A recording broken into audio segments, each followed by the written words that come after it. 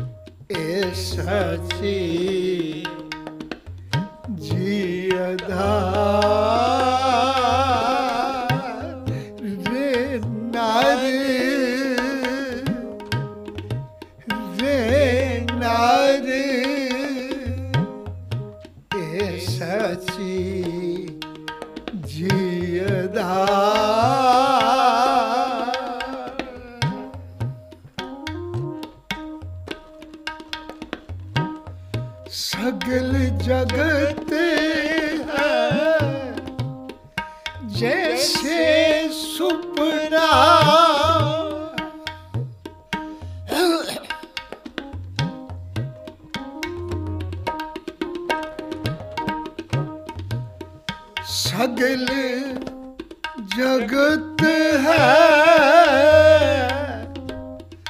ਜੈਸੇ ਸੁਪਨਾ ਬਿਨ ਲਗਤ ਲਗਤੇ ਨਵਾ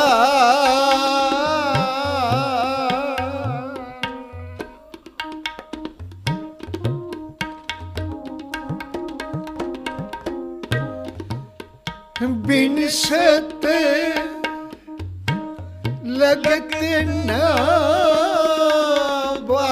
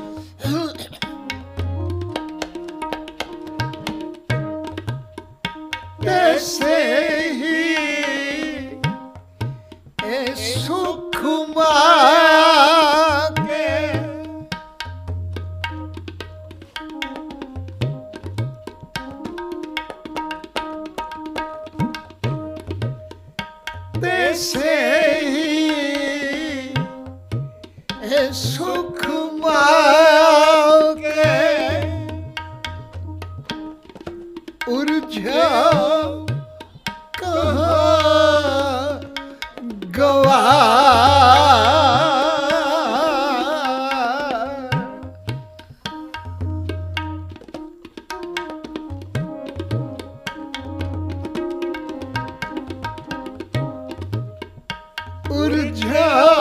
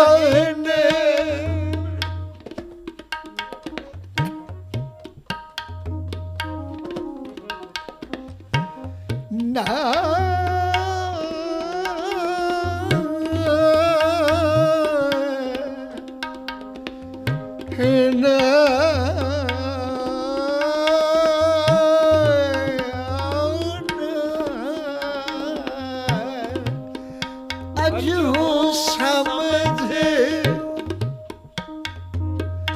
ਕਛ ਬਿਗੜਿਓ ਨਾਹੀ ਨੇ।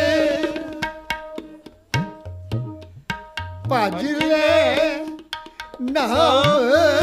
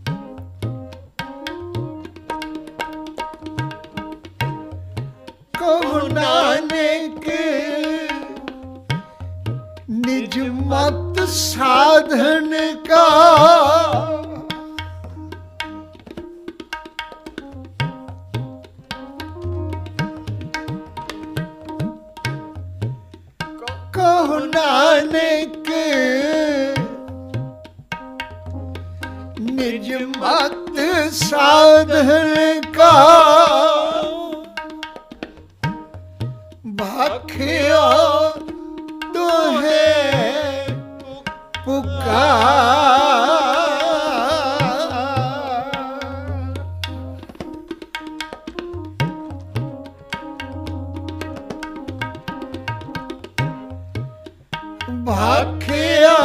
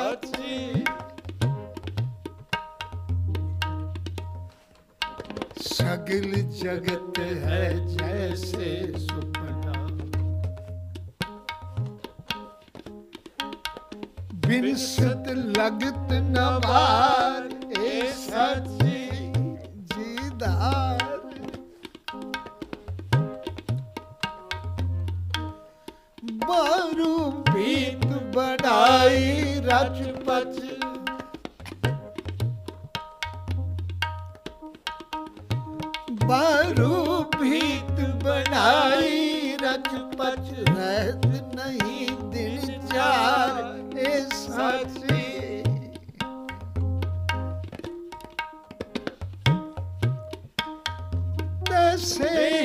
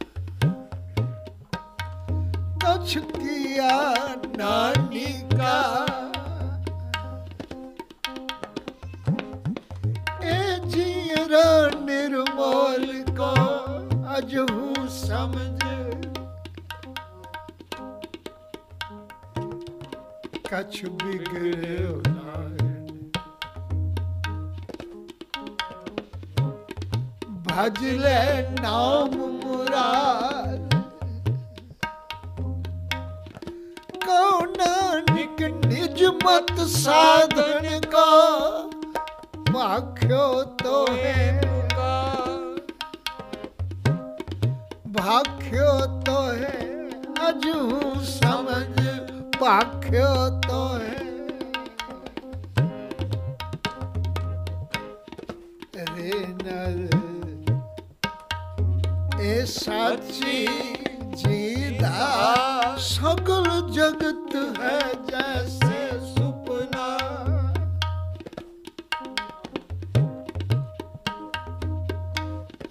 ਜਗ ਰਚਨਾ ਸਭ ਝੂਠ ਹੈ।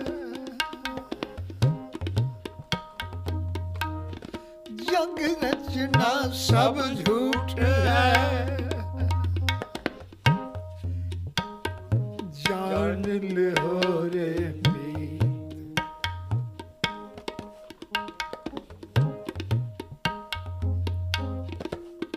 ਜਿਉ ਸੁਪਨਾ ਹਰ ਪੇਖਣਾ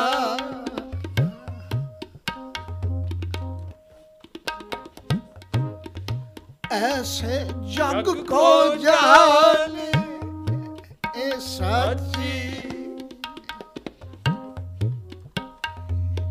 ਮੈਂ ਕਛ ਸਾਚੋ ਨਹੀਂ ਇਹ ਸਾਚੀ ਸਭ ਝੂਠ ਹੈ ਇਹ ਸਾਚੀ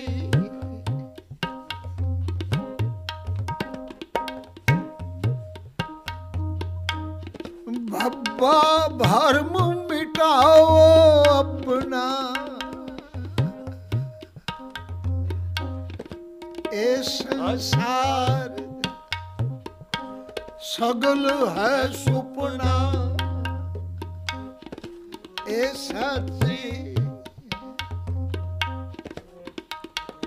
ਮਿਰਤ ਮੰਡਲ ਜਗ ਸਾਜਿਆ।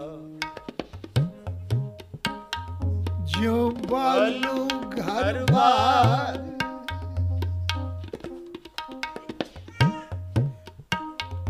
ਬਿਨ ਸਤ ਬਾਰ ਨਾ ਲੱਗਈ।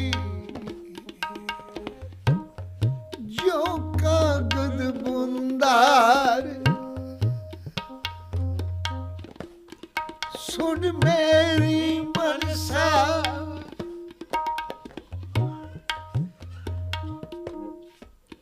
ਸੁਣ ਮੇਰੀ ਮਨਸਾ ਮਨ ਮੈਂ ਸਤ ਦੇਖ ਵਿਚਾਰ। ਇਹ ਸਾਚੀ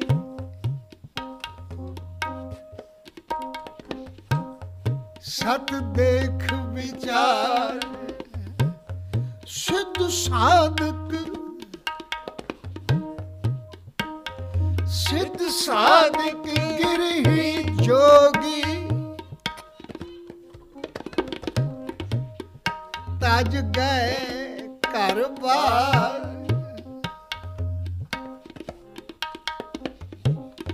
ਜੈਸਾ ਸੁਪਨਾ ਰਹਿਣ ਕਾ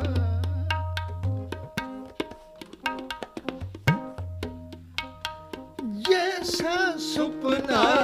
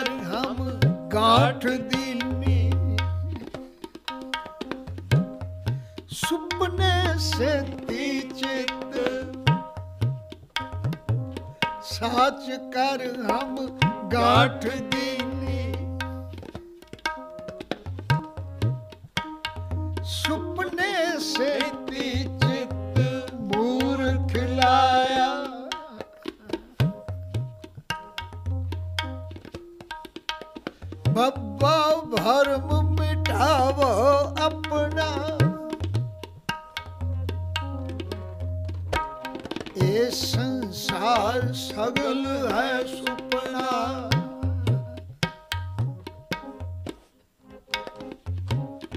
ਪਰਮੇ ਸੁਰ ਨਰ ਦੇਵੀ ਦੇਵਾ।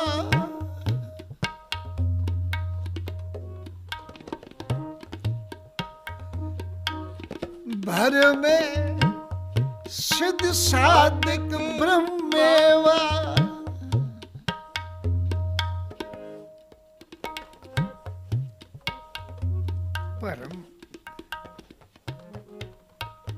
ਇੱਕ ਸੁਪਨਾ ਬਣ ਗਿਆ। ਜੀਵਨ ਤੇ ਉਹਦਾ ਸੁਪਨੇ ਨਾਲ ਸੰਬੰਧ ਕਿਵੇਂ ਬਣਿਆ? ਮਸਲਾ ਇਹ ਹੈ ਤੇਗ ਬਹਾਦਰ ਪਾਤਸ਼ਾਹ ਜੀ ਨੇ। ਇਹ ਟਾਪਿਕ ਇਹ ਸਬਜੈਕਟ ਸ਼ੁਰੂ ਕਰਨ ਲੱਗਿਆ ਇੱਕ ਗੱਲ ਨਾਲ ਆਖ ਦਿੱਤੀ, ਕਹਿਣ ਲੱਗੇ, ਤੈਨੂੰ ਵਿਸ਼ਵਾਸ ਨਹੀਂ ਆਉਣਾ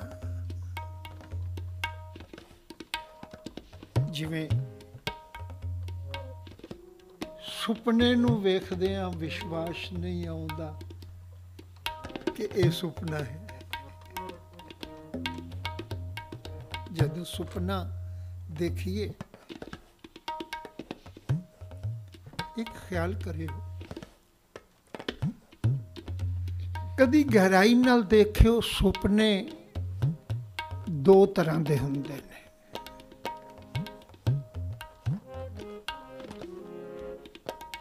ਅਸਲ ਸੁਪਨਾ ਜਿਹਨੂੰ ਆਖਦੇ ਨੇ ਜਿਹੜਾ ਸੁਪਨੇ ਦਾ ਅਸਲ ਆਕਾਰ ਕਿਰਿਆ ਹੈ, ਉਹ ਹੈ ਅਣਜਾਣਤਾ। ਰਾਤ ਨੂੰ ਆਉਂਦਾ ਤੇ ਸੁਪਨੇ ਦੀ ਨਿਸ਼ਾਨੀ ਕੀ ਹੈ, ਉਹਦੇ ਵਿੱਚ ਕੋਈ ਮਨੁੱਖ ਕਰਮ ਨਹੀਂ ਕਰਦਾ।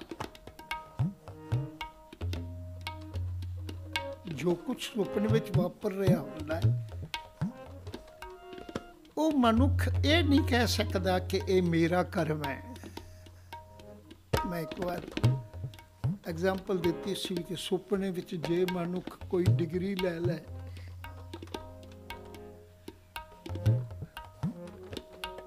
ਉਸ ਨੇ ਪੜ੍ਹਾਈ ਤਾਂ ਕੀਤੀ ਨਹੀਂ। ਸੁੱਤਾ ਪਿਆ। ਕਿਉਂਕਿ ਜੀਵਨ ਜਿਹੜਾ ਹੈ ਕਰਮ ਖੇਤਰ ਹੈ। ਉਹ ਜੀਵਨ ਨਾਲੋਂ ਵੀ ਸੁਪਨਾ ਦਾ ਮਤਲਬ ਹੀ ਇਹੋ ਹੀ ਹੈ, ਜੀਵਨ ਨਾਲੋਂ ਟੁੱਟ ਜਾਣਾ। ਪਰ ਜੀਵਨ ਸਮਝ ਲੈਣਾ ਇਹ ਸਮਝ ਲੈਣਾ ਮੈਂ ਜਿਉਂਦਾ ਸੁਪਨੇ ਵਿੱਚ ਮਨੁੱਖ ਜੀਵਨ ਨਾਲੋਂ ਟੁੱਟ ਚੁੱਕਾ ਹੁੰਦਾ ਹੈ। ਇਸੇ ਲਈ ਨੀਂਦ ਨੂੰ ਅੱਧੀ ਮੌਤ ਆਖਦੇ ਨੇ। ਕਿਉਂਕਿ ਕਰਮ ਕੋਈ ਨਹੀਂ। ਕਰਮ ਕੋ ਸੁਪਨੇ ਵਿੱਚ ਜੋ ਕੁਝ ਵੀ ਹੋ ਰਿਹਾ, ਉਹਦੇ ਕਰਮ ਤਾਂ ਕਰ ਨਹੀਂ ਰਿਹਾ। ਉਹ ਬੇਵਸ ਹੈ।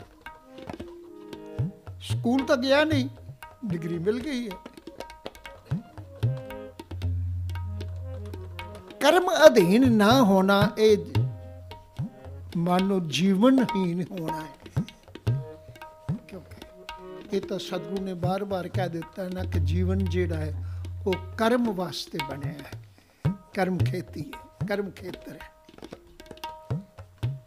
ਸਤਿਗੁਰੂ ਨੇ ਬਾਣੀ ਵਿੱਚ ਆਖਿਆ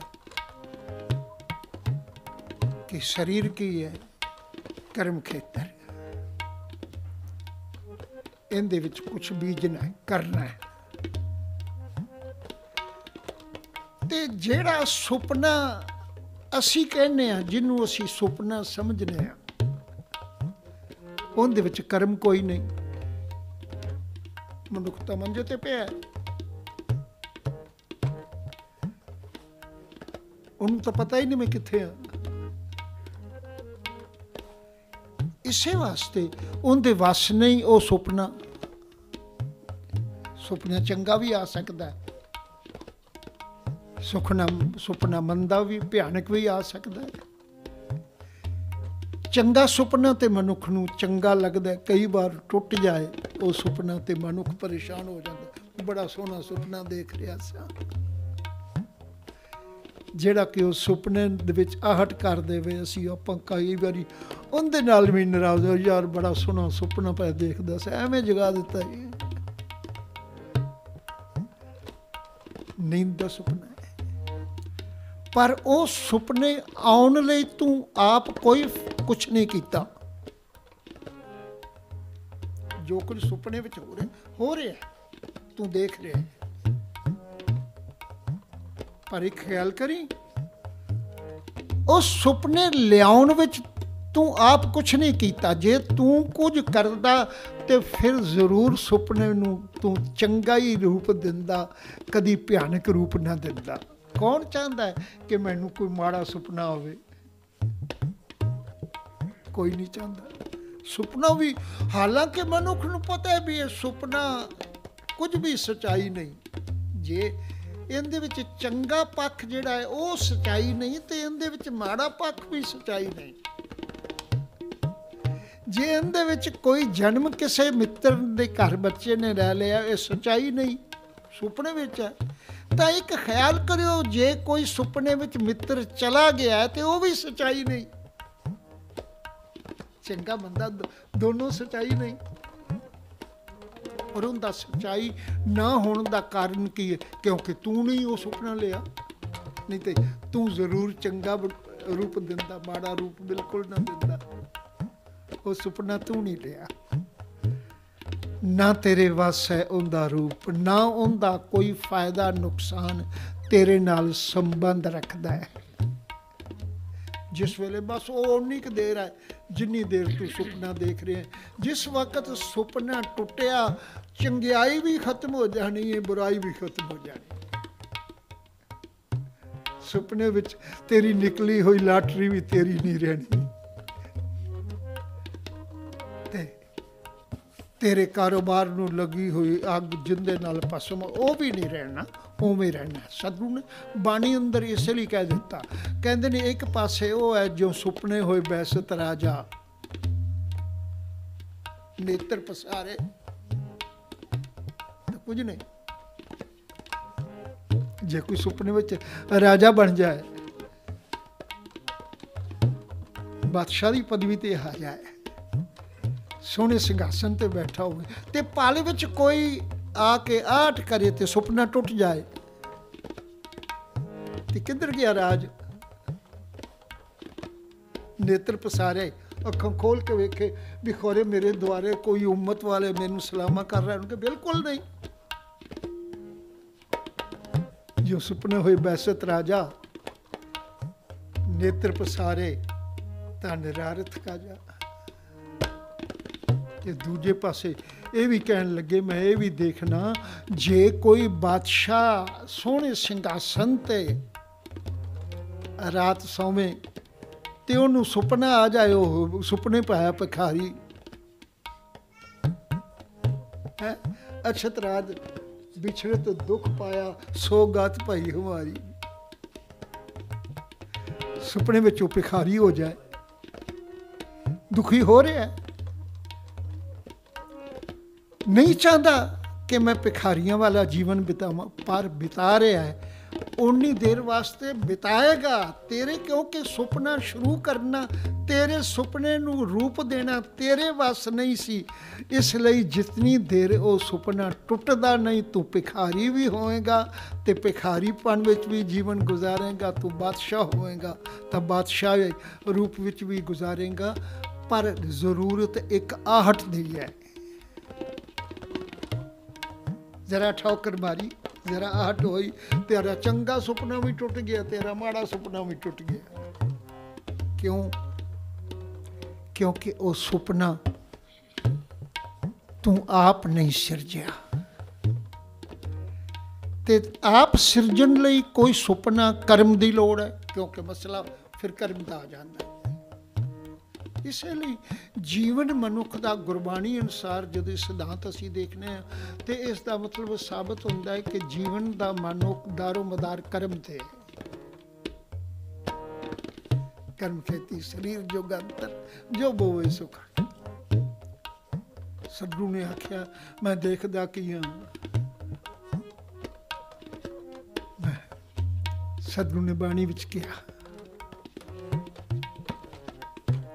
ਕਹਿਣ ਲੱਗੇ, ਜਿੰਨੇ ਜੀ ਜੰਤ ਕੇ ਨਾਮ ਸਭਨਾ ਲਿਖਿਆ ਬੜੀ ਕਲਾਮ, ਇਹ ਲਿਖਾ ਲਿਖ ਜਾਣੇ ਕੋਈ ਲਿਖਿਆ ਲਿਖਾ ਕੀਤਾ ਅੱਗੇ ਜਾ ਕੇ ਕਹਿੰਦੇ ਨੇ, ਕਰਮੀ ਕਰਮੀ ਹੋਏ ਵਿਚਾਰ। ਕਰਮਾਂ ਤੇ ਨਿਰਭਰ ਹੈ। ਜੇ ਵੇਹ ਕਰਮ ਕਮਾਉਂਦੇ ਤੇ ਵੇਹ ਫਲ ਤੇ। ਕਿਉਂ ਕਿਉਂਕਿ ਜੀਵਨ ਦਾ ਸੰਬੰਧ ਕਰਮ ਨਾਲ ਹੈ ਤੇ ਸੁਪਨਾ ਜਿਹੜਾ ਹੈ, ਉਹ ਕਰਮ ਨਾਲੋਂ ਤੋੜ ਦਿੰਦਾ ਹੈ। ਇਸੇ ਲਈ ਤੇਰੇ ਵਸ ਨਹੀਂ। ਉਹ ਸੁਪਨਾ, ਨਾ ਹੁੰਦਾ ਤੈਨੂੰ ਫਾਇਦਾ ਹੈ, ਨਾ ਨੁਕਸਾਨ ਹੈ। ਪਰ ਇੱਕ ਖਿਆਲ ਕਰੀ, ਇੱਕ ਸੁਪਨਾ ਉਹ ਵੀ ਹੈ ਜਿਹੜਾ ਤੂੰ ਆਪ ਸਿਰਜਣਾ ਹੈ। ਮਨੁੱਖ ਜ਼ਿੰਦਗੀ ਅੰਦਰ ਬੜੇ ਸੁਪਨੇ ਸਿਰਜਦਾ ਹੈ। ਹਰ ਰੋਜ਼ ਹੀ ਸੁਪਨੇ ਨਵੇਂ-ਨਵੇਂ ਲੈਂਦਾ ਮੈਂ ਆਪਣੇ ਬੱਚੇ ਨੂੰ ਇੰਨਾ ਪੜਾਵਾਂਗਾ ਉਹ ਡਾਕਟਰ ਬਣ ਜਾਏਗਾ, ਉਹ ਇੰਜੀਨੀਅਰ ਬਣ ਜਾਏਗਾ, ਫਿਰ ਉਹ ਇੰਨਾ ਪੈਸਾ ਕਮਾਏਗਾ, ਮੈਂ ਉਹ ਜੀ ਕੋਠੀ ਬਣਾਵਾਂਗਾ, ਇੰਨੀ ਕੀਮਤੀ ਕਾਰ, ਉਹ ਇਹ ਸੁਪਨੇ ਹੀ ਹੈ ਨਾ। ਉਹ ਜਿੱਥੇ ਗਾ ਲੱਗ ਗਿਆ, ਅਜੇ ਕਰਮ ਸ਼ੁਰੂ ਨਹੀਂ ਹੋਇਆ। ਸਿਰਫ ਸੋਚ ਹੈ। ਉਹ ਜਿੰਨੀ ਦੇਰ ਕਰਮ ਸ਼ੁਰੂ ਨਹੀਂ ਹੋਇਆ, ਓਨੀ ਦੇਰ ਉਹ ਸੁਪਨਾ ਹੈ, ਸੁਪਨਾ ਲੈ ਰਿਹਾ ਹੈ। ਉਹ ਵੀ ਸੁਪਨਾ ਹੈ। ਉਹ ਸੁਪਨਾ ਤੂੰ ਆਪਣੀ ਮਰਜ਼ੀ ਨਾਲ ਨਹੀਂ ਸਿਰਜਿਆ ਸੀ। ਇਸ ਲਈ ਉਹ ਸਾਕਾਰ ਨਹੀਂ ਹੋ ਸਕਿਆ। ਉਹ ਕੇਵਲ ਕੁਝ ਸਮੇਂ ਦਾ ਸੀ, ਜਿਸ ਵਕਤ ਆਹਟ ਹੋਈ, ਉਹ ਸੁਪਨਾ ਖਤਮ ਹੋ ਗਿਆ। ਪਰ ਇੱਕ ਸੁਪਨਾ ਤੂੰ ਆਪ ਸਿਰਜ ਰਿਹਾ ਹੈ। ਉਹ ਹੈ। ਤੂੰ ਆਪ ਸੋਚਣਾ ਮੈਂ ਆ ਬਣਾਂਗਾ। ਜਾਂ ਆ ਪਰਿਵਾਰ ਨੂੰ ਬਣਾਵਾਂਗਾ। ਉਹ ਸੁਪਨਾ ਆਪ ਸਿਰਜ ਰਿਹਾ ਪਰ ਤੈਨੂੰ ਪਤਾ ਹੋਵੇ, ਸੁਪਨਾ ਉਹ ਵੀ ਸੁਪਨਾ ਰਹੇਗਾ ਜਿੰਨੀ ਦੇਰ ਉਸ ਸੁਪਨੇ ਲਈ ਤੂੰ ਕਰਮ ਨਹੀਂ ਕਰੇਗਾ। ਮਸਲਾ ਕਰਮ ਦਾ ਆ ਜਾਂਦਾ ਸਿਰਫ ਫ਼ਰਕ ਇਹ ਹੈ ਕਿ ਉਹਦੇ ਲਈ ਤੂੰ ਕਰਮ ਕਰ ਸਕਣ ਦੇ ਹਾਲਾਤ ਵਿੱਚ ਵੀ ਨਹੀਂ। ਤੇ ਇਹ ਜਿਹੜਾ ਸੁਪਨਾ ਤੂੰ ਸਿਰਜ ਰਿਹਾ ਹੈ ਦਿਨ ਦੇ ਚਾਨਣ ਵਿੱਚ ਮਨੋ ਕਲਪਨਾ ਨਾਲ, ਇਹ ਸੁਪਨੇ ਨੂੰ ਤੂੰ ਕਰਮ ਖੇਤਰ ਚ ਲਿਜਾ ਸਕਣਾ ਹੈ। ਲਓ ਆ ਫ਼ਰਕ ਹੈ। ਇਹਦੇ ਲਈ ਤੂੰ ਕੁਝ ਕਰ ਸਕਣਾ ਹੈ। ਜੇ ਤੂੰ ਚਾਹੇ ਕਿ ਮੈਂ ਕੁਝ ਨਾ ਕਰਾਂ ਤੇ ਨਿਰਾ ਸੁਪਨੇ ਲਈ ਜਾਵਾਂ, ਤਾਂ ਇੱਥੇ ਵੀ ਕੁਝ ਨਹੀਂ ਬਣਨਾ, ਇਹ ਵੀ ਸੁਪਨਾ ਹੀ ਹੈ। ਪਰ ਜੇ ਤੂੰ ਇਸ ਸੁਪਨੇ ਨੂੰ ਸਾਕਾਰ ਕਰਨਾ ਚਾਹੇ, ਉਹ ਸੁਪਨਾ ਸਾਕਾਰ ਨਹੀਂ ਹੁੰਦਾ। ਇਹ ਸੁਪਨਾ ਸਾਕਾਰ ਹੋ ਸਕਦਾ ਹੈ। ਮੈਂ ਆ ਕੁਝ ਬਣਾਂਗਾ, ਬਣ ਸਕਣਾ ਹੈ। ਮੈਂ ਆ ਕੁਝ ਦੇਖਾਂਗਾ, ਕਰਾਂਗਾ, ਕਰ ਸਕਣਾ ਪਰ ਇਹ ਕਰ ਸਕਣ ਵਾਲੀ ਜਿਹੜੀ ਗੱਲ ਹੈ, ਉਹ ਕਰਮ ਦੇ ਅਧੀਨ ਹੈ। ਤੇ ਜਦੋਂ ਤੂੰ ਕਰਮ ਦੇ ਅਧੀਨ ਹੋ ਗਿਆ ਫਿਰ ਤੈਨੂੰ ਗਿਆਨ ਦੀ ਲੋੜ ਹੈ। ਕਿਉਂਕਿ ਗਿਆਨ ਬਿਨਾ ਕਰਮ ਕੋਈ ਨਹੀਂ। ਲਓ। ਸਤਿਗੁਰੂ ਨੇ ਇਸੇ ਲਈ ਕਹਿ ਦਿੱਤਾ, ਗਿਆਨ ਬਿਨਾ ਤਾਂ ਨਾ ਕੋਈ ਸੰਸਾਰਿਕ ਕਰਮ ਹੋ ਸਕਦਾ। ਨਾ ਕੋਈ ਨਿਰੰਕਾਰ ਦਾ ਧਾਰਮਿਕ ਕਰਮ ਹੋ ਸਕਦਾ। ਕਿਸੇ ਚੀਜ਼ ਕੋਈ ਵੀ ਕਰਮ ਕਰਨ ਲਈ ਗਿਆਨ ਚਾਹੀਦਾ। ਹੈ ਇਸੇ ਲਈ ਆ ਸਕੂਲ ਖੋਲੇ ਗਏ ਨੇ। ਇਸੇ ਲਈ ਸਕੂਲ ਕਾਲ- ਕਾਲਜ ਖੋਲੇ ਗਏ ਨੇ। ਉੱਥੇ ਜਾ ਕੇ ਪੜ੍ਹਾਈ ਹੁੰਦੀ ਹੈ ਉਹ ਪੜ੍ਹਾਈ ਜਿਹੜੀ ਹੈ ਉਹ ਕਿਸ ਚੀਜ਼ ਦੀ ਹੈ ਉਹ ਕਰਮ ਕਰਨਾ ਸਿਖਾਉਂਦੀ ਹੈ ਜੇ ਤੂੰ ਇੰਜੀਨੀਅਰ ਬਣਨਾ ਤਾਂ ਇਹ ਆ ਕਰਮ ਕਰਨਾ ਪਏਗਾ। ਜੇ ਤੂੰ ਡਾਕਟਰ ਬਣਨਾ ਤਾਂ ਆ ਕਰਮ ਕਰਨਾ ਪ- ਉਹ ਕਰਮ ਦਾ ਇੱਕ ਸਾਧਨ ਦਿੰਦੇ ਹੈ ਉਹ ਹੈ ਗਿਆਨ।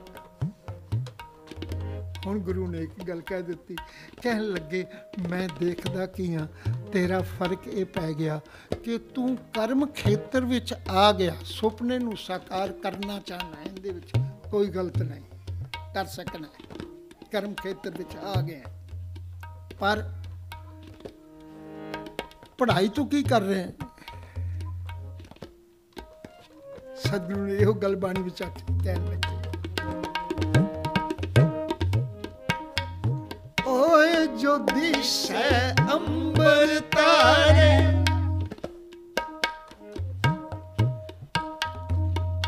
ਕਿਨ ਓਏ ਚੀਤੇ ਚੀਤਨ ਹਾਰੇ ਕਈ ਕੋਟ। ਕਈ ਕੋਟ ਸਸਿਅਰ ਸੂਰ ਨਿਖੱਤਰ। ਉਹਨਾਂ ਤੋਂ ਗਿਆਨ ਚਾਣ ਪੈਦਾ ਕੀਤਾ। ਸਸਿਅਰ ਕਹਿੰਦੇ ਨੇ, ਚੰਦਰਮਾ ਨੂੰ, ਸੂਰ ਦਾ ਮਤਲਬ ਸੂਰਜ, ਨਖੱਤਰ ਦਾ ਮਤਲਬ ਤਾਰੇ। ਤੂੰ ਪੜ੍ਹਾਈ ਕੀਤੀ, ਸਸਿਅਰ ਸੂਰ ਨਖੱਤਰ ਦੀ ਕੀਤੀ, ਪਰ ਕਿੰਨੇ ਬਣਾਏ, ਉਹਦੀ ਪੜ੍ਹਾਈ ਨਹੀਂ ਕੀਤੀ। ਅਧੂਰੀ ਰਹਿ ਗਈ ਨਾ ਗੱਲ। ਕਿਸੇ ਚੀਜ਼ ਦਾ ਵੀ ਬੇਸ ਨਾ ਪਤਾ ਹੋਵੇ, ਉਹਦੇ ਅਸਲ ਟਿਕਾਣ ਕਿੱਥੋਂ ਇਹ ਆਈ ਹੈ ਉਥੋਂ ਉਹ ਪਤਾ ਨਾ ਹੋਵੇ। ਸਤਿਗੁਰੂ ਨੇ ਬਾਣੀ ਅੰਦਰ ਇਸੇ ਲਈ ਸੁਖਮਨੀ ਸਾਹਿਬ ਦੀ ਇਹ ਪੌੜੀ ਹੈ। ਗੁਰੂ ਕਹਿੰਦੇ ਨੇ ਕਈ ਕੋਟ ਸਸਿਅਰ, ਸੂਰ ਨਿਖੱਤਰ। ਕਈ ਕੋਟ ਦੇਵ ਦਾਨਵ ਸਿਰ ਛਤਰ। ਕਰੋੜਾ ਚੰਦਰਮਾ ਤੇ ਸੂਰਜ ਜਿਨ੍ਹਾਂ ਦੀ ਖੋਜ ਤੂੰ ਕਰਦਾ ਰਿਹਾ। ਤਾਰਿਆਂ ਦੀ ਖੋਜ ਕਰਦਾ ਰਿਹਾ ਗਿਆ ਅੱਜ ਮੈਂ ਮੰਗਲ ਤੇ ਪਹੁੰਚ ਗਿਆ। ਹੁਣ ਮੈਂ ਚੰਦਰਮਾ ਦੀ ਧਰਤੀ ਤੇ ਆਪਣਾ ਝੰਡਾ ਗੱਡ ਦਿੱਤਾ ਹੈ। ਇਹ ਚਲਦੀਆਂ ਹੈ ਰੋ, ਰੋਜ਼ ਅਸੀਂ ਸੁਣਨੇ ਆ ਦੇਖਨੇ ਆ। ਦੌੜ ਹੈ। ਤੇ ਇਸੇ ਲਈ ਇਹ ਤੁਕਾਈ ਸੀ।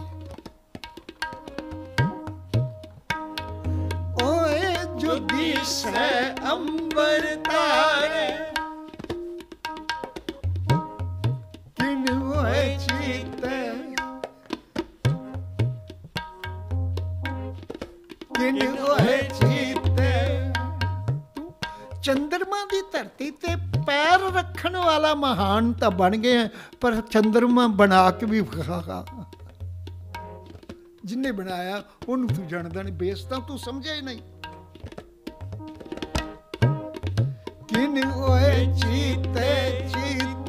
ਹਾਰੇ ਕਹੋ ਰੇ ਭਾਵ ਵਿਦਵਾਨ ਵਿਦਿਆ ਤੇ ਮਾਨ ਰੱਖਣ ਵਾਲੇ ਆ ਮੈਂ ਬਹੁਤ ਪੜਿਆ ਲਿਖਿਆ ਮੈਂ ਸਾਇੰਸ ਪੜ੍ਹੀ ਹੈ ਸਾਇੰਸਦਾਨ ਨੇ ਚੰਦਰਮਾ ਤੇ ਸੂਰਜ ਦੇ ਹਾਲਾਤ ਨੂੰ ਜਾਣ ਲਿਆ ਮੰਨ ਲਓ ਕਿ ਕਿੰਨੀ ਦੂਰੀ ਤੇ ਹੈ, ਕਿੰਨੀ ਚੌੜਾਈ ਵਿੱਚ ਹੈ, ਕਿਸ ਸੂਰਜ ਦੀ ਰੋਸ਼ਨੀ ਲੈ ਕੇ ਚੰਦਰਮਾ ਚਮਕਦਾ, ਇਹ ਸਭ ਕੁਝ ਉਹਨਾਂ ਬਾਰੇ ਜਾਣ ਲਿਆ ਹੈ। ਪਰ ਇਹ ਨਹੀਂ ਜਾਣਿਆ ਬਣਾਣਾ ਕਿੰਨੇ, ਬਣਾਇਆ ਕਿੰਨੇ ਗੁਰੂ ਕਹਿੰਦੇ ਨੇ, ਕਹੋ ਰੇ ਪੰਡਿਤ, ਕਹੋ ਰੇ ਪੰਡਿਤ, ਅੰਬਰ ਖਾਸਿਓ ਲੱਗਾ ਇਹੋ ਕਾਰਨ ਹੈ। ਤੂੰ ਸੂਰਜ ਦੀ ਉਪਾਸਨਾ ਸ਼ੁਰੂ ਕਰ ਦਿੱਤੀ, ਉਹਦੀ ਪੂਜਾ ਵੀ ਕਰ ਰਿਹਾ ਹੈ। ਸੂਰਜ ਨੂੰ ਪਾਣੀ ਦੇ ਰਿਹਾ ਹੈ। ਚੰ드ਰਮਾ ਨੂੰ ਧਾਗੇ ਪੱਗਾਂ ਸੁੱਟ ਰਿਹਾ ਹੈ। ਉਹਨਾਂ ਦੀ ਪੂਜਾ ਵੀ, ਜਿਹੜੀ ਚੀਜ਼ ਜਾਣਨੀ ਹੈ, ਉਸੇ ਦੀ ਪੂਜਾ ਹੋਣੀ ਹੈ। ਉਸ ਦੀ ਪੂਜਾ ਵੀ ਕਰ ਰਿਹਾ ਹੈ। ਕਈ ਕੋਟ ਸੱਸੇ ਰਸੂਲ ਨਿਕੱਤਰ ਕਈ ਕੋਟ ਦੇਵ ਦਾਨਵ ਇੰਦਰ ਸਿਰ ਛਤਰ। ਹਾਲਾਂਕਿ ਤੂੰ ਇਹ ਨਹੀਂ ਸਮਝ ਸਕਿਆ ਵੀ ਉਹ ਤੇ ਆਪਣਾ ਆਪ ਨਹੀਂ ਸਵਾਰ ਸਕੇ।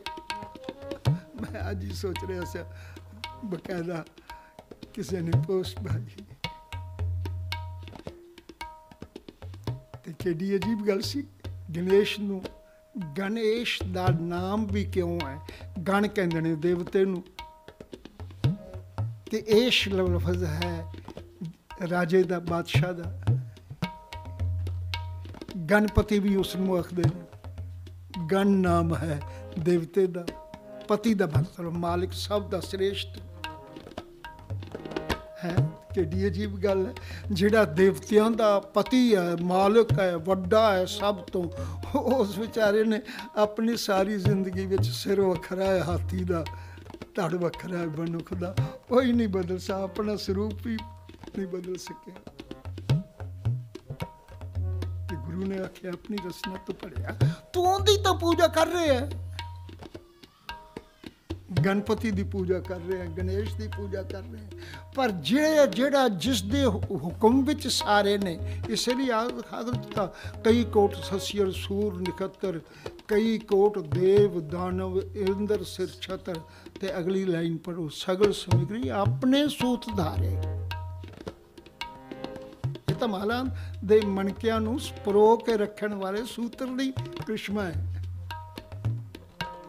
ਸੂਤ ਇੱਕ मन सत सहंस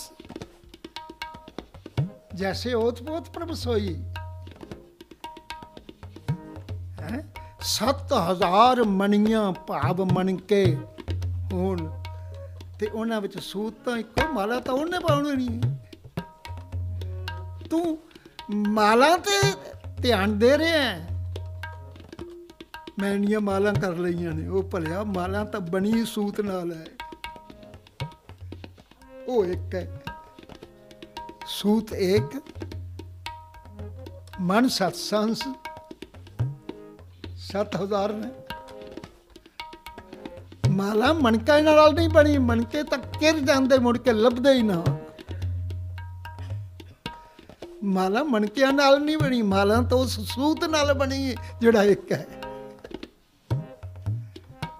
ਜਿਹਨੇ ਸਾਰਿਆਂ ਮਣਕਿਆਂ ਨੂੰ ਸੰਭਾਲ ਕੇ ਰੱਖਿਆ ਹੋਇਆ ਹੈ। ਜੇ ਉਹ ਸੂਤ ਨਾ ਹੁੰਦਾ ਤੇ ਮਣਕਿਆਂ ਦੀ ਮਾਲਾ ਨਾ ਬਣਦੀ। ਤੂੰ ਮਾਲਾ ਨੂੰ ਆਪਣੀ ਭਗਤੀ ਦਾ ਕੇਂਦਰ ਬਣਾ ਲਿਆ ਹੈ। ਤੂੰ ਮਾਲਾ ਨੂੰ ਆਪਣੇ ਜੀਵਨ ਦੇ ਵਿੱਚ ਆਪ ਧਾਰਮਿਕ ਰਸਤਿਆਂ ਦੇ ਪੰਧੀ ਦਾ ਪੰਧ ਸੁਖਾਲਾ ਕਰਨ ਲਈ ਆਪਣਾ ਸਾਥੀ ਬਣਾ ਲਿਆ ਪਰ ਭਲਿਆ ਜਿਹੜਾ ਵਿਚਲਾ ਸੂਤ ਹੈ, ਉਹਨੂੰ ਨਹੀਂ ਪਛਾਣ ਸਕਿਆ। ਇਸ ਲਈ ਕਹਿਣ ਲੱਗੇ, ਸਗਲ ਸਮਗਰੀ ਆਪਣੇ ਸੂਤ ਧਾਰੇ। ਨਾਨਕ ਜਿਸ ਜਿਸ ਭਾਵੇ, ਤਿਸ ਤਿਸ ਨਿਸਤਾਰੇ। ਇਹੋ ਹੀ ਫ਼ਰਕ ਹੈ। ਗੁਰੂ ਕਹਿੰਦੇ ਨੇ, ਉੱਥੇ ਕਰਮ ਦਾ, ਕਿਉਂਕਿ ਕਰਮ ਜਿਹੜਾ ਹੈ, ਉਹ ਗਿਆਨ ਮੰਗਦਾ ਹੈ। ਤੇ ਗਿਆਨ ਫਿਰ ਇਹ ਕਹਿ ਦੱਸਦਾ ਹੈ ਵੀ ਤੂੰ ਕਿਹੜਾ ਕਰਮ ਕਰਨਾ ਹੈ, ਕਿਹੜਾ ਨਹੀਂ ਕਰਨਾ। ਤੇ ਜਿੰਨੀ ਦੇਰ ਇਹ ਪਤਾ ਨਾ ਲੱਗੇ ਕਿਹੜਾ ਕਰਮ ਕਰਨਾ ਹੈ, ਕਿਹੜਾ ਨਹੀਂ ਕਰਨਾ, ਓਨੀ ਦੇਰ ਤੂੰ ਆਪਣਾ ਸੁਪਨਾ ਤਾਂ ਲੈ ਸਕਣਾ, ਸੁਪਨਾ ਸਾਕਾਰ ਨਹੀਂ ਕਰ ਸਕਦਾ। ਉਹ ਸੁਪਨੇ ਦਾ ਤੇ ਇਸ ਜੀਵਨ ਦੇ ਸੁਪਨੇ ਦਾ। ਕਿਉਂਕਿ ਅਸੀਂ ਜੀਵਨ ਦੇ ਸੁਪਨਿਆਂ ਵਿੱਚ ਜਿਉਣ ਉਸ ਸੁਪਨੇ ਨੂੰ ਤਾਂ ਜਿਹੜਾ ਸਾਨੂੰ ਰਾਤ ਨੂੰ ਆ ਜਾਂਦਾ ਉਹਨੂੰ ਤੇ ਅਸੀਂ ਪ੍ਰਵਾਨ ਕਰਦੇ ਹੋਏ ਵੀ ਨਾ ਕੀਤੇ ਵਰਗਾ, ਉਹ ਸਾਡੇ ਹੱਥ ਨਹੀਂ ਦੇਖ ਲੈਣਾ, ਰਾਤ ਬੀਤੀ ਗਈ, ਵੱਖਰੀ ਗਈ ਗੱਲ ਹੈ, ਪਰ ਉਹ ਸੁਪਨੇ ਸਾਡੇ ਨਹੀਂ। ਨਾ ਅਸੀਂ ਉਹਨਾਂ ਨੂੰ ਸਾਕਾਰ ਕਰ ਸਕਨੇ ਆ, ਨਾ ਅਸੀਂ ਉਹਨਾਂ ਨੂੰ ਸਿਰਜ ਸਕਨੇ ਆ, ਨਾ ਉਹਨਾਂ ਨੂੰ ਢਾ ਸਕਨੇ ਆ। ਉਹ ਸੁਪਨੇ ਸਾਡੇ ਨਹੀਂ ਅਸੀਂ ਤਾਂ ਤੇ ਗੁਰੂ ਸਾਹਿਬ ਵੀ ਸਤਿਗੁਰੂ, ਗੁਰੂ ਤੇਗ ਬਹਾਦਰ ਪਾਤਸ਼ਾਹ ਜੀ ਵੀ ਇਹੋ ਗੱਲ ਕਹਿੰਦੇ ਨੇ, ਪਰ ਭਰਿਆ ਤੈਨੂੰ ਇਹ ਪਤਾ ਹੋਵੇ, ਮੈਂ ਤੈਨੂੰ ਇਹ ਗੱਲ ਸੱਚੀ ਆਖ ਰਿਹਾ। ਇੱਕ ਖਿਆਲ ਕਰਿਓ। ਮਨੁੱਖ ਕਦੇ ਕਿਸੇ ਨੂੰ ਇਹ ਗੱਲ ਕਹਿੰਦਾ ਨਾ ਵੀ ਮੈਂ ਤੈਨੂੰ ਸੱਚ ਆਖਣਾ ਤੈਂਦਾ ਮਤਲਬ ਉਹਨੂੰ ਇਹ ਹੁੰਦਾ ਵੀ ਪਤਾ ਨਹੀਂ ਇਹਨੇ ਸੱਚ ਸਮਝਣਾ ਕਿ ਨਹੀਂ ਸਮਝਣਾ। ਮੇਰੀ ਗੱਲ ਤੇ ਯਕੀਨ ਕਰਨਾ ਕਿ ਨਹੀਂ ਕਰਨਾ।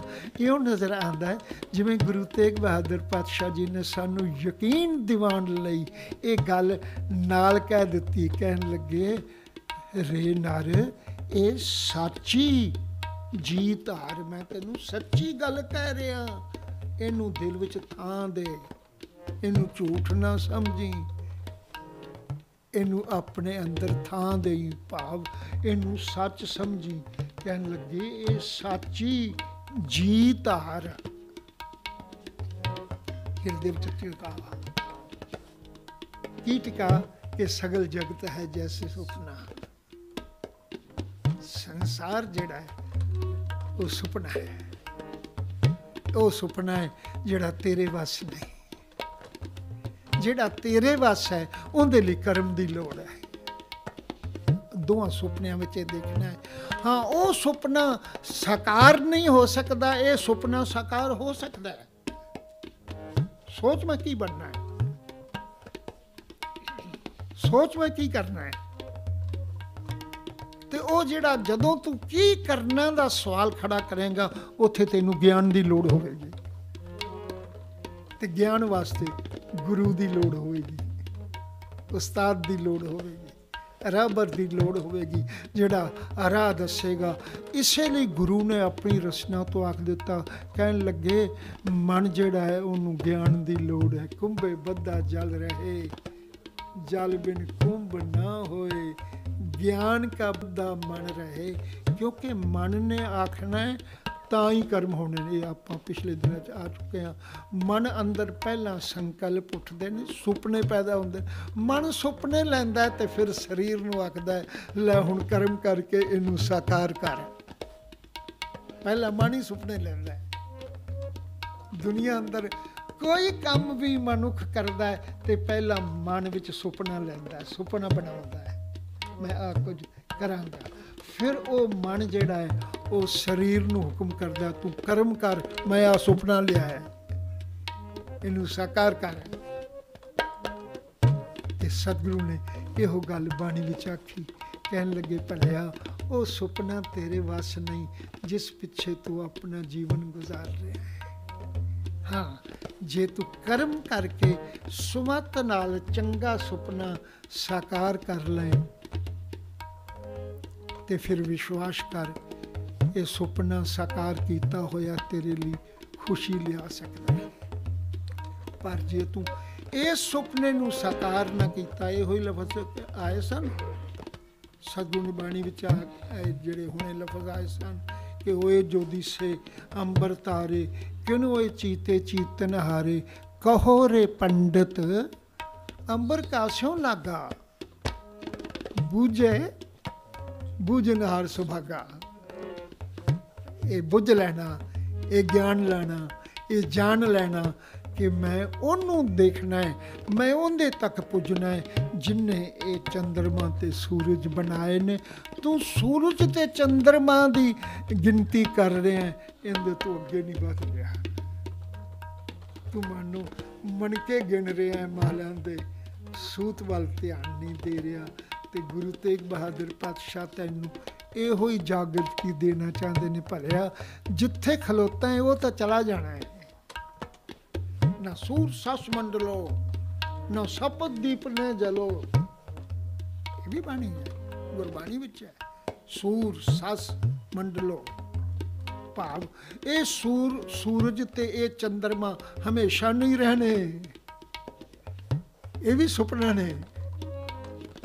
ਨਾ ਸੂਰ ਸਸ ਮੰਡਲੋ, ਨਾ ਸਪਤ ਦੀਪ ਨ ਚਲੋ, ਅਨ ਪਾਉਣ ਥਿਰ ਨਾ ਕੋਈ ਏਕ ਤੂੰ ਹੀ ਏਕ ਤੂੰ ਹੀ ਇਸ ਲਈ ਜੇ ਆਪਣੇ ਜੀਵਨ ਅੰਦਰ ਕੋਈ ਸੁਪਨਾ ਲੈਣਾ ਚਾਹਨਾ ਤਾਂ ਆ ਲੈ ਤੇ ਬਾਕੀ ਸੁਪਨੇ ਤਾਂ ਤੇਰੇ ਸੰਸਾਰ ਅੰਦਰ ਇਉਂ ਹੀ ਨੇ, ਜਿਵੇਂ ਝੂਠੇ ਸੁਪਨਿਆਂ ਅੰਦਰ ਜੀਵਨ ਦੀ ਰਾਤ ਬਤੀਤ ਹੋ ਜਾਏ।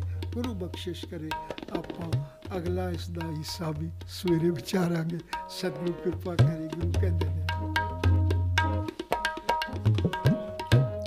ਰੇ ਨਰ ਇਹ ਸਾਚੀ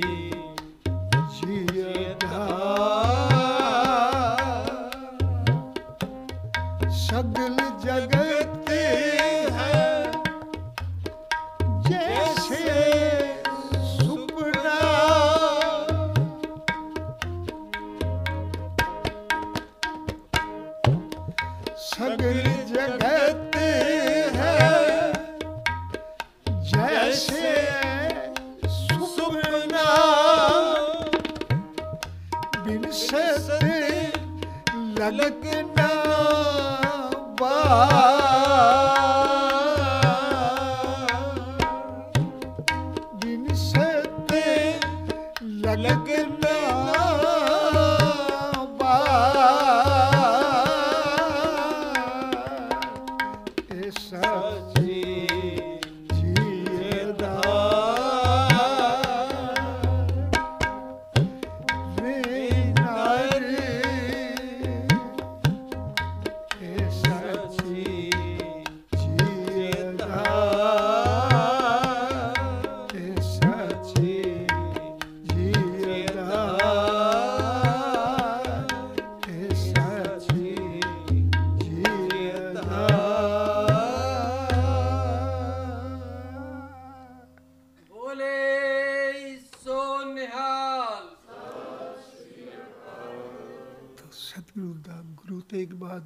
ਪਾਤਸ਼ਾਹ ਜੀ ਦਾ ਇਹ ਬਚਨ ਜੀਵਨ ਨੂੰ ਚੇਤਾਵਨੀ ਦਿੰਦਾ ਹੈ। ਜਿਨ੍ਹਾਂ ਸੁਪਨਿਆਂ ਵਿੱਚ ਜੀਵਨ ਗੁਜ਼ਾਰ ਰਹੇ ਹੈ, ਉਹ ਸੁਪਨੇ ਤੇਰੇ ਵਸ ਨਹੀਂ, ਉਹ ਛਿਨ ਭੰਗਰ ਨੇ ਇਥੋਂ ਤੱਕ ਕਹਿ ਦਿੱਤਾ, ਭਲਿਆ, ਦੇਖ ਲੈ, ਉਹਨਾਂ ਸੁਪਨਿਆਂ ਦੀ ਨਿਸ਼ਾਨੀ। ਮਿਰਤ ਮੰਡਲ ਜਗ ਸਾਜਿਆ ज्यो बालू घर बार सुन मेरी मनसा मणे मार सद देख विचार जैसा सपना रहने का तैसा संसार है दिष्टमान सब विनसी है सब मरोगवार है कहने लगे देख कहाँ सुभाई मीत है देख नैन पसार अखं खोल के देख ਤੇਰੇ ਆਪਣੇ ਤੇਰੇ ਦੇਖਦਿਆਂ ਦੇਖਦਿਆਂ ਜਿਨ੍ਹਾਂ ਨੇ ਤੈਨੂੰ ਗੋਦੀ ਵਿੱਚ ਪਾ ਲਿਆ ਅੱਜ ਉਹ ਤੈਨੂੰ ਤੇਰੇ ਹੱਥ ਨਹੀਂ ਤੇਰੇ ਵੱਸ ਨਹੀਂ। ਕਾਂ ਸੋ ਮੀਤ ਹੈ ਦੇਖ ਨੈਣ ਪਸਾਰ। ਇੱਕ ਚੱਲ ਹੈ, ਇੱਕ ਚਾਲਸ ਹੈ ਸਭ ਆਪਣੀ ਵਾਰ। ਇਹ ਸੁਪਨਾ ਤੇਰਾ ਨਹੀਂ ਤੇ ਤੇਰੇ ਵੱਸ ਨਹੀਂ। ਜਿਹੜਾ ਸੁਪਨਾ ਤੇਰਾ ਹੈ ਤੇ ਤੇਰੇ ਵੱਸ ਹੈ ਉਹ ਇਹ ਸੋਚ ਕਿ ਮੈਨੂੰ ਜੀਵਨ ਕਿਸ ਲਈ ਮਿਲਿਆ ਹੈ ਤੇ ਮੈਂ ਕੀ ਬਣਨਾ ਹੈ। ਜਾਂ ਕੋ ਆਏ ਸੋਈ ਬਿਹਾਜੋ ਜੇ ਉਹ ਕਰੇਗਾ, ਉਹਦੇ ਲਈ ਕੁਝ ਕਰਨਾ ਪਏਗਾ। ਉਹ ਕਰਮ ਖੇਤਰ ਵਿੱਚ ਆਏਗਾ। ਇਹ ਕਰ ਸੁਪਨਾ ਕਰਮ ਖੇਤਰ ਵਿੱਚ ਨਹੀਂ, ਉਹ ਸੁਪਨਾ ਕਰਮ ਖੇਤਰ ਵਿੱਚ ਹੈ। ਕਰਮ ਲਈ ਗਿਆਨ ਦੀ ਲੋੜ ਹੈ, ਗਿਆਨ ਲਈ ਗੁਰੂ ਦੀ ਲੋੜ ਹੈ। ਇਸ ਲਈ ਗੁਰੂ ਨਾਲ ਜੁੜਨਾ ਜੀਵਨ ਦਾ ਇੱਕ ਤਾਤਪਰਜ ਹੈ ਗੁਰੂ ਤੇਗ ਬਹਾਦਰ ਪਾਤਸ਼ਾਹ ਜੀ ਦੀ ਬਾਣੀ ਵੀ ਸਾਨੂੰ ਇਹੋ ਕੁਝ ਗਿਆਨ ਹੀ ਦਿੰਦੇ ਹੈ ਗਿਆਨ ਦਾ ਸਭ ਤੋਂ ਵੱਡਾ ਸਾਧਨ ਗੁਰਬਾਣੀ ਹੈ। ਇਸ ਲਈ ਗੁਰਬਾਣੀ ਵਿੱਚੋਂ ਅਸੀਂ ਇਹ ਗੱਲ ਜਾਣਨੀ ਹੈ, ਜਿਹੜਾ ਸੁਪਨਾ ਸਾਡੇ ਜੀਵਨ ਦਾ ਹੈ, ਸਾਡੀ ਮਰਜ਼ੀ ਦਾ ਹੈ ਜਿਹੜਾ ਅਸੀਂ ਬਣਾ ਸਕਨੇ ਆ, ਉਹਦੇ ਲਈ ਅਸੀਂ ਕਿਹੜਾ ਕਰਮ ਕਰੀਏ? ਇਹਨਾਂ ਸ਼ਬਦਾਂ ਨਾਲ ਖਿਮਾ ਦਾ ਚੁੱਕਾ ਫਤਿਹ ਬੁਲਾਓ। ਵਾਹਿਗੁਰੂ ਜੀ ਕਾ ਖਾਲਸਾ। ਵਾਹਿਗੁਰੂ ਜੀ ਕੀ ਫਤਿਹ।